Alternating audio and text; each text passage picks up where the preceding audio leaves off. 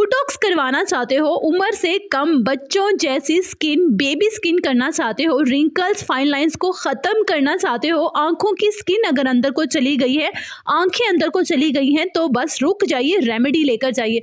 I know that सर्दी में remedy को बनाना और लगाना बहुत मुश्किल है, लेकिन ये रेमेडी आप लॉन्ग टाइम के लिए बनाकर रख सकते हैं, आप इसे होम मेड बुटॉक्स भी कहेंगे, क्योंकि इस रेमेडी के रिज़ल्ट बुटॉक्स से भी ज़्यादा पावरफुल है। सबसे पहले यहाँ पे मैं लूँगी अलसी, यानी कि फ्लैक्स सीड अमूमन हर घर में ये पाए जाते हैं। नहीं तो आप मार्केट से ले सकते हैं। यार, बहुत सस्ते हैं। यहाँ पे मैंने लिया है एक चम्मच अलसी का और सेकंड लूँगी मैं यहाँ पे दो चम्मच राइस पाउडर यानी चावल का आटा। अगर आपके पास चावल का आटा नहीं है सिंपल चावल है तो वो भी यहाँ पे आप ले सकते हैं। दो चम्मच राइस पाउडर अब हम इन्हें एक सॉस पैन में डाल लेंगे एक ग्लास पानी के साथ। ठीक हो गया? रोज पेटल्स फ्रेश गुलाब की पत्तियाँ। अगर आपके पास फ्रेश नहीं है ड्राई है तो आप ड्राई रोज पेटल लीव्स भी इस्तेमाल कर सकते हैं सो डोंट वरी अगर आपके चावल या चावल का आटा ज़्यादा पानी लेते हैं तो आप इसमें ज़्यादा पानी भी डाल सकते हैं सो डोंट वरी सिर्फ़ हमने चावल को स्मूथ करना है।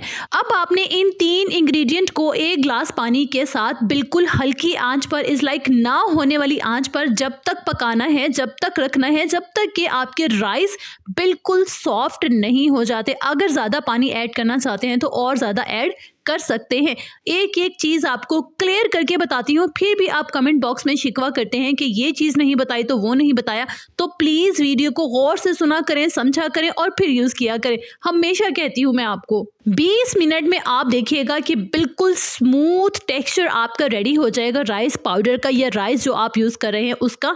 और ज़्यादा थिक आपने नहीं करनी, इसकी कंसिस्टेंसी ठीक हो गया। अब आपने इसे ठंडा कर लेना है और ठंडा करने के बाद अगर आप इसे मज़ीद ग्राइंड करना चाहते हैं तो कर सकते हैं, लेकिन मैं इसे बारीक कपड़े से छान लेती हूँ, स्ट्रेन कर लेती हूँ, उसके बाद ग्राइंड करने की भी ज़रूरत नहीं होती। तो ये देखिए स्ट्रेन करने के बाद कितनी स्मूथ हमारी बेस क्रीम रेडी हो गई है। अब आपने सिर्फ़ इसमें ऐड करनी है ग्लेसरीन आपको मेडिकल स्टोर से मिल जाएगी। यार ग्लेसरीन का हर बंदे को पता होता है ग्लेसरीन क्या चीज़ है। ये आपकी रेडी हो गई skin whitening home made botox cream आप इसे बनाकर पाँच से छह दिन के लिए स्टोर करेंगे। इसे अपनी ड्रेसिंग टेबल पर रख सकते हैं, लेकिन जब गर्मियाँ होंगी तो आपने इसे फ्रिज में रखना है। अच्छा बता दूँ कि आपने इसे लगाना कैसे? पहले अच्छे से फेस को वॉश करना है और कम्प्लीटली ड्राई करना है टिश्यू से, ठीक है?